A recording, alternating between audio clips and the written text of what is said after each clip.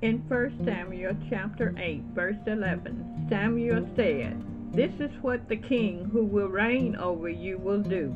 He will take your sons and make them serve with his chariots and horses, and they will run in front of his chariots. Some he will assign to be commanders of thousands and commanders of fifties, and others to plow his ground and reap his harvest and still others to make weapons of war and equipment for his chariots. He will take your daughters to be perfumers and cooks and bakers. He will take the best of your fields and vineyards and olive groves and give them to his attendants. Please stay tuned for the shocking result and conclusion of the people rejecting God and insisting on a king.